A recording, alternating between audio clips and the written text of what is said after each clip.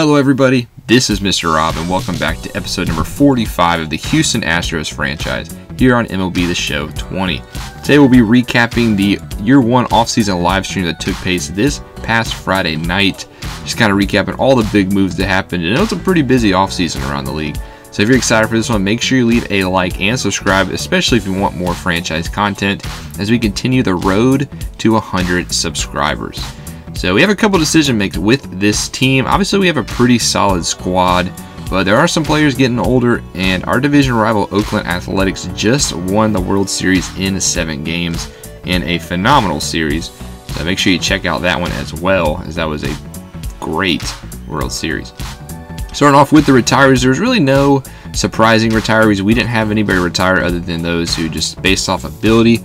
A couple of big names Carlos Gonzalez, Jesse Davis, some of the free agents, Curtis Granderson, Adam Wainwright of the Cardinals also retired, Melky Cabrera, and a bunch of other folks. People who didn't retire Albert Pujols and Miguel Cabrera. They're still in the league. There was no inductees this year into the Hall of Fame. And here is our coaching staff, starting off with the manager. I thought about firing Johnny Cook I thought he did okay, but he does have that interim title, especially after the scandal last year. But we are going to keep Johnny Cook around for another year, as we are also missing a hitting, pitching, and third base coach.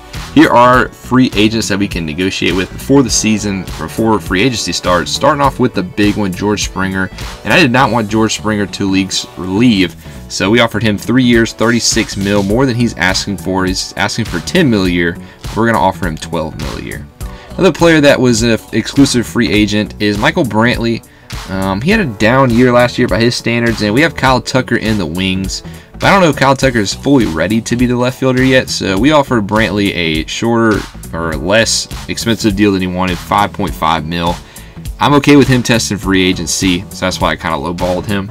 Yasiel Puig, we have a team option on Yasiel Puig, and he did phenomenal after signing with the team, but you know, he has been has his history as a head case, and for a team that's looking to, you know, increase their image after the scandal, I think it's best to be both part ways. He improved his stock, and we got some good play out of him. So Yasiel Puig will be a free agent. And then Brad Peacock, our best reliever last year, wasn't the greatest, but you want to bring back your best reliever from the previous season, so we offered him one year at 1.8 million.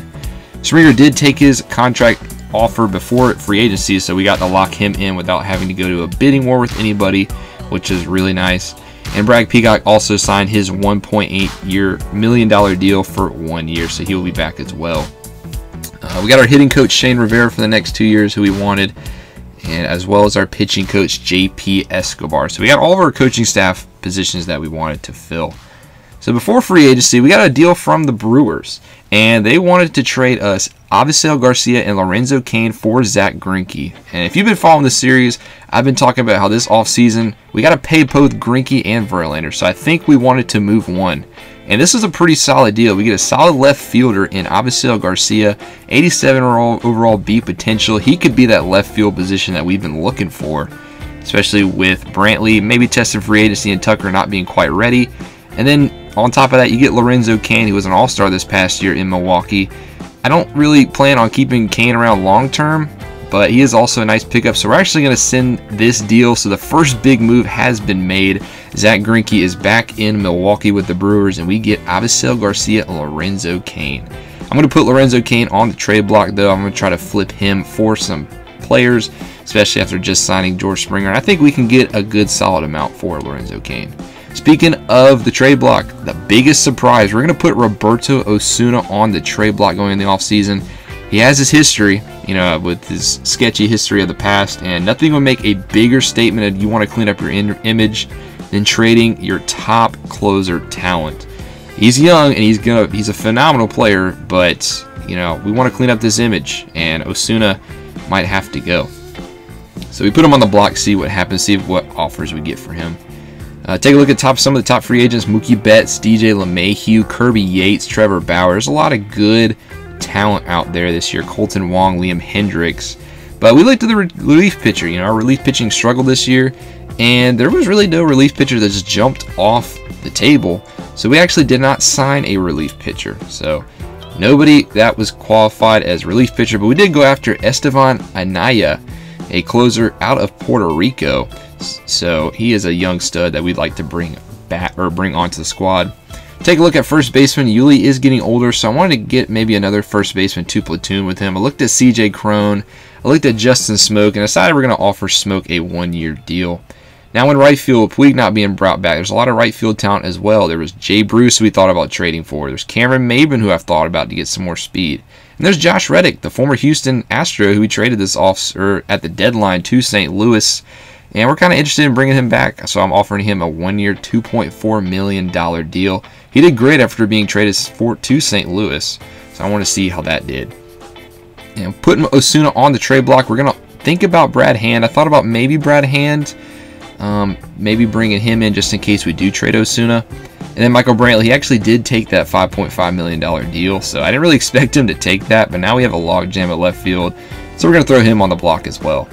With the first day in free agency, and the first big domino falls. Mookie Betts signs a 10 year, $181 million contract with the Baltimore Orioles.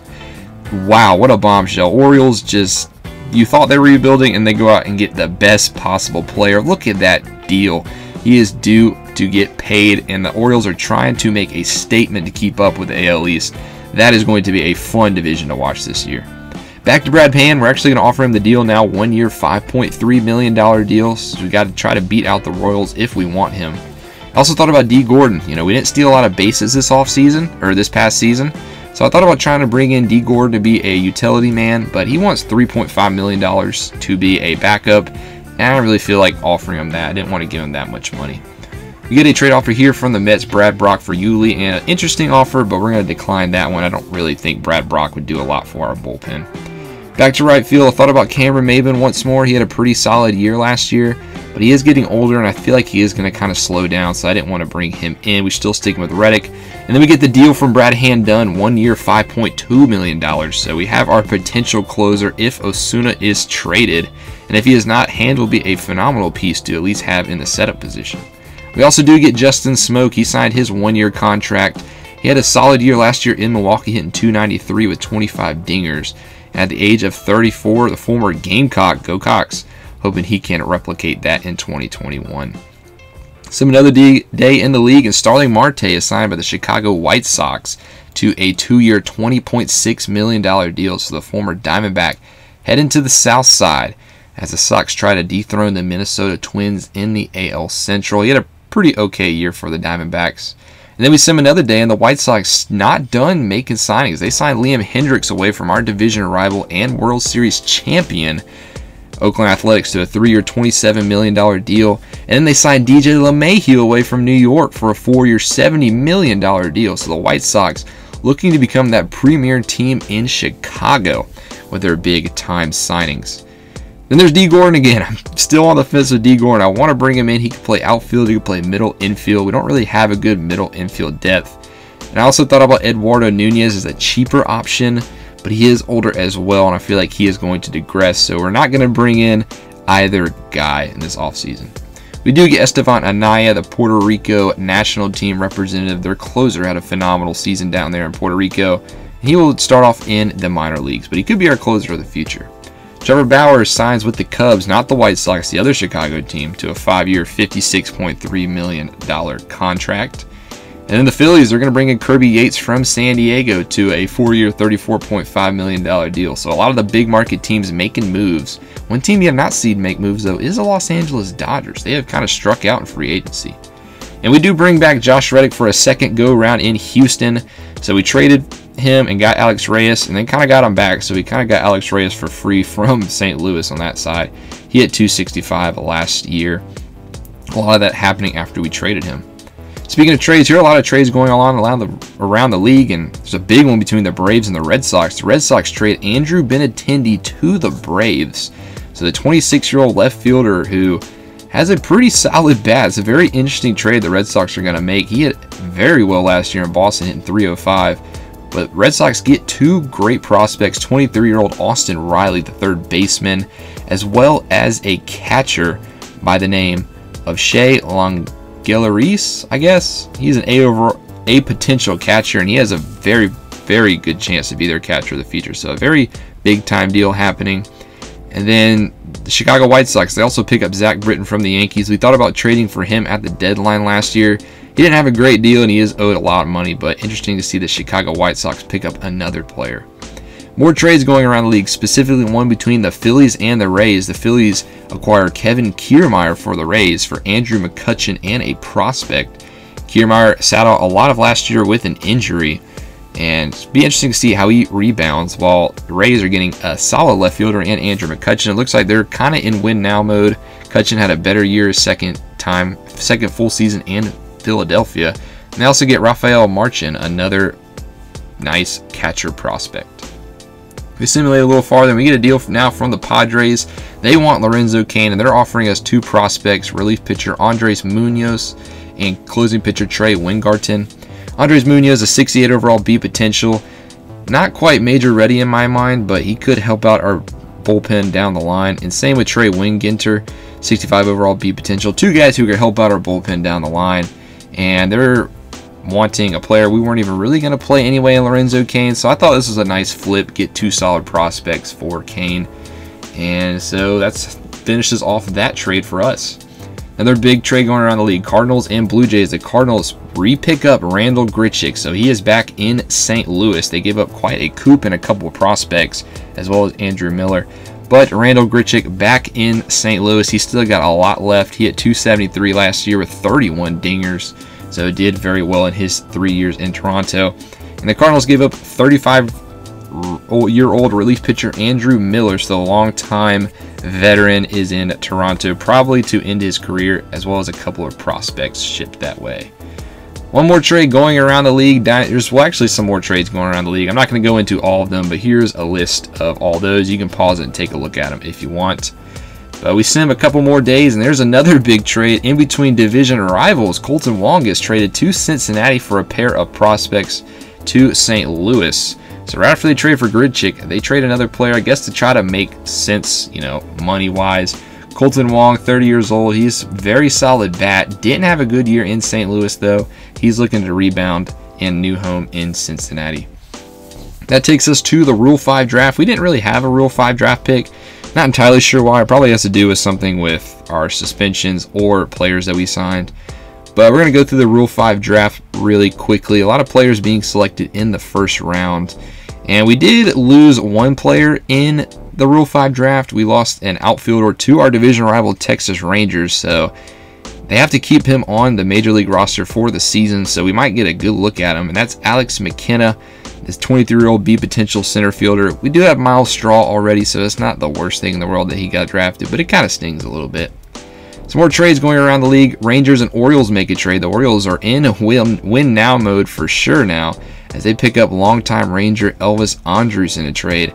I'm happy for it. That means the Rangers are rebuilding, and I'm perfectly fine with the Rangers rebuilding. I don't mind not having to face Elvis Andrus as much.